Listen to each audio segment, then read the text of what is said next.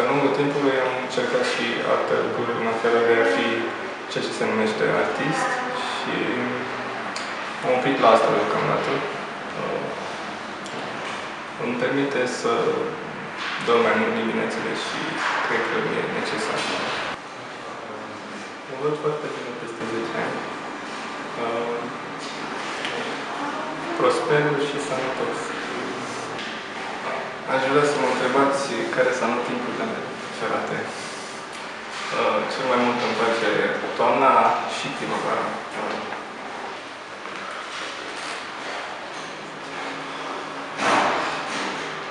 cât de mult îți plac ponei.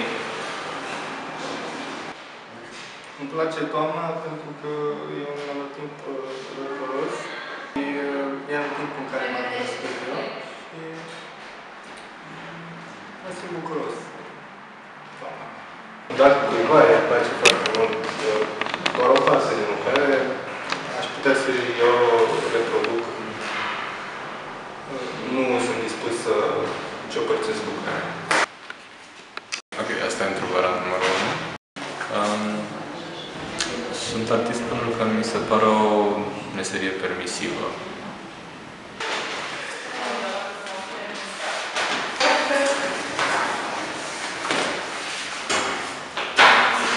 Peste 10 ani mă văd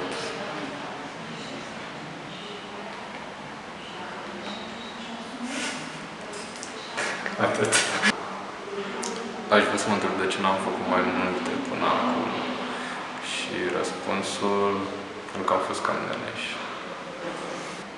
Dacă ar fi să personific cumva într-un context uh, matriarhal-patriarhal, alta vidă ar fi undeva uh, copilul bastard al internetului și al uh, industriei de advertising.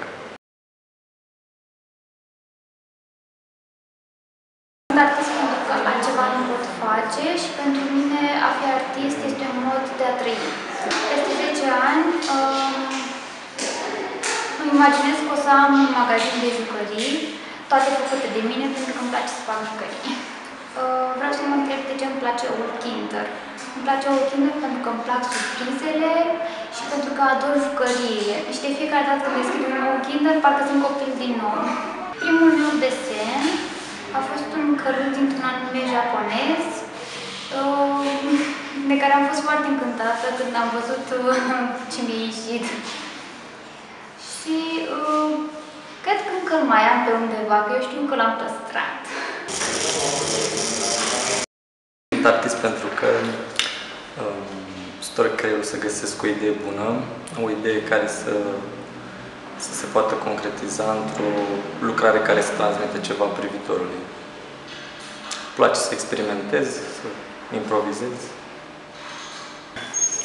Peste 10 ani mă văd uh, lucrând într-un atelier, sper al meu,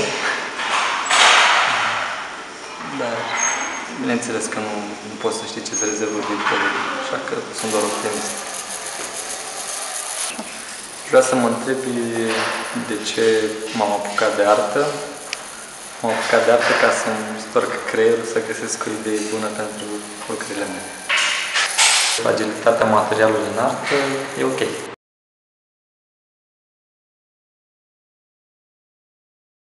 Sunt artist pentru că aceasta e calea pe care mi-a dezvăluit-o viața până acum și mi-am dat seama că a face artă pentru mine e ceva indispensabil, nu opțional.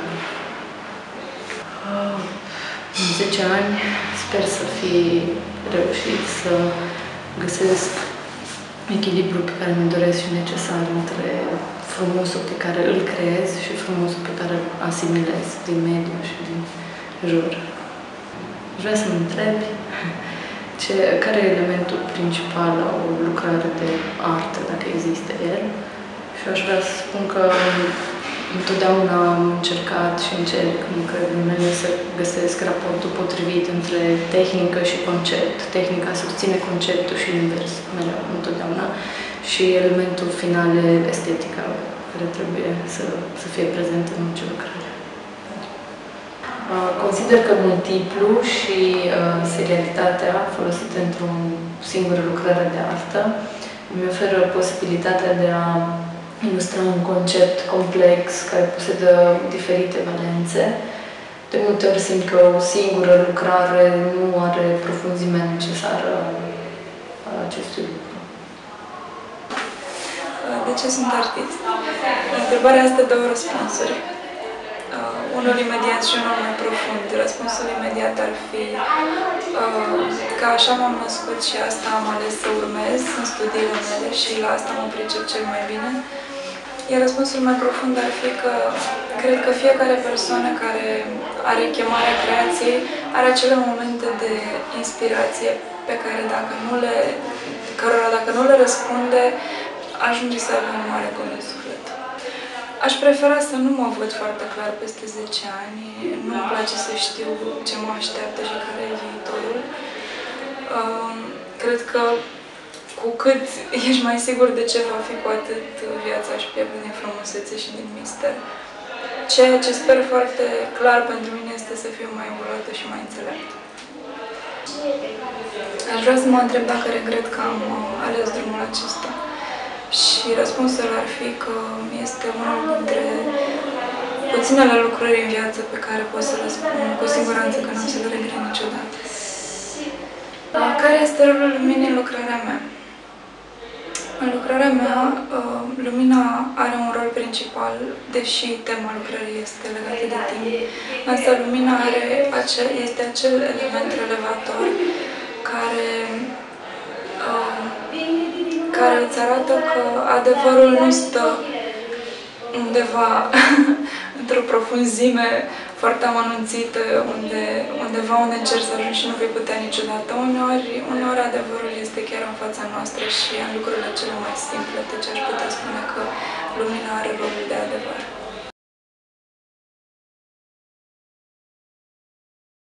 De ce sunt artist? Presupun că sunt artist din cauza că sunt nemulțumit. Ce vreau să spun prin asta e, nu știu, în general, oamenii în viața de zi cu zi, în cotidian, nu prea mai au timp să-și pună întrebări. Cred că, într-o mare măsură, e treaba artistului să pună aceste întrebări și nu știu de ce peste 10 ani, dar știu că mi-aș dori să fac ce fac acum. Și eu mă întreb totuși de ce s-a dat așa de spațiul ăsta al blocurilor. Uh, cred că e un simbol, practic, al orașului București. Și cred că sunt chiot, așa, în special de acest tip de zone, din simplu motiv că am crescut în astfel de spații de, de când nu știu. Și dacă este nou, s-ar putea să fie noul landscape în ceea ce privește fotografia, să fie un trend acum. Eu am fotograf, fotografiat pur și simplu ce am considerat că e de actualitate. Și am considerat eu că e un spațiu problematic.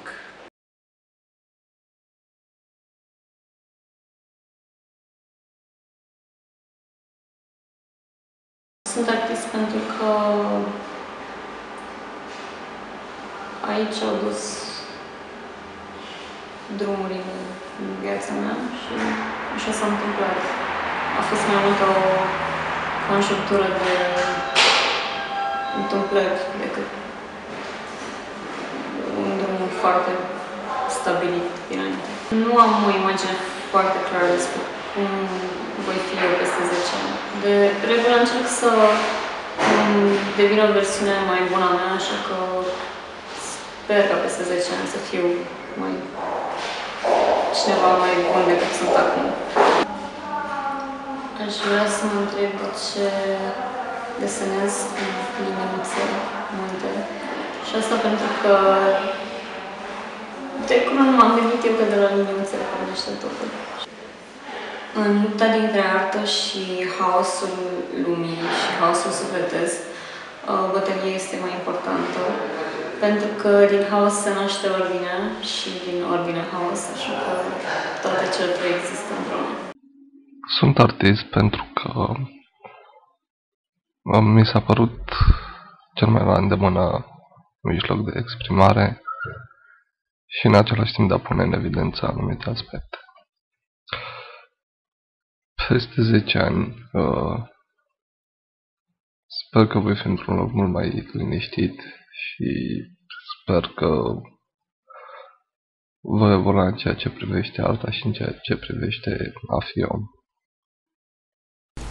Am fost întrebat uh, dacă ar fi să aleg între cele două elemente care sunt prezente în, în filmul meu Roots uh, și anume faptul că timpul stă cumva în loc și felul în care sunt surprinse și aduse toate acele emoții uh, la care dintre ele aș fi dispus să renunț. Uh, răspunsul meu este la niciunul dintre cele două elemente, deoarece consider că cele două elemente combinate împreună dau rezultatul pe care l-am dorit. În schimb, uh, vreau să atrag atenția cu aceste filme și cu aceste elemente și cu acest proiect că toți suntem trecători uh, și poate ar trebui să iertăm mai mult, să iubim mai mult și să ne bucurăm mai mult de ceea ce avem în momentul în care îl avem. Sunt artist pentru că chestia asta îmi permite să fac anumite chestii pentru care altfel l-aș fi judecată, probabil, sau arătată cu degetul. Cum ar fi să mă joc fără să fiu considerat copil, să fac chestii absurde fără să fiu luată drept bună și, nu știu, să protestez fără să fiu considerată periculoasă. Peste 10 ani mă văd uh, supraviețuind într-o lume post-apocaliptică. Poate ca asistent al lui Dr. Schnabel. Sper, dacă mă mai vrea. Am zis chestii de prea multe ori. Vreau să mă întrebi ce mi-aș dori să-i aducă Moș Crăciun lui Dr. Schnabel. Și tot eu răspund că aș vrea să-i aducă gloria și faima pe care le merită.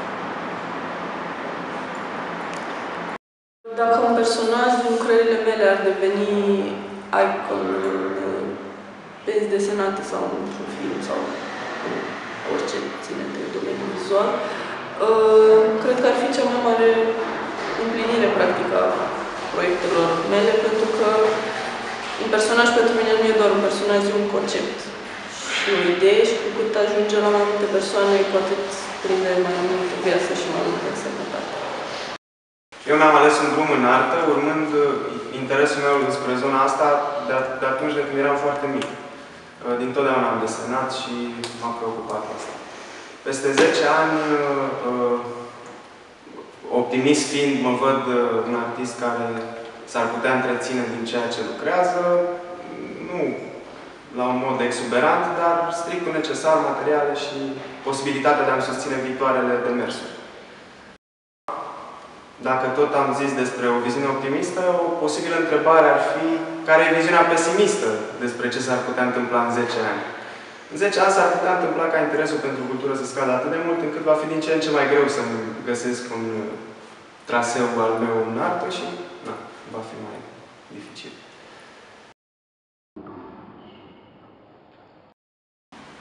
Dimensiunea unei lucrări de artă nu cred că este cea mai importantă, dar în anumite situații poate contribui la amplificarea stării pe care ea o creează și la implicarea mai mare a privitorului.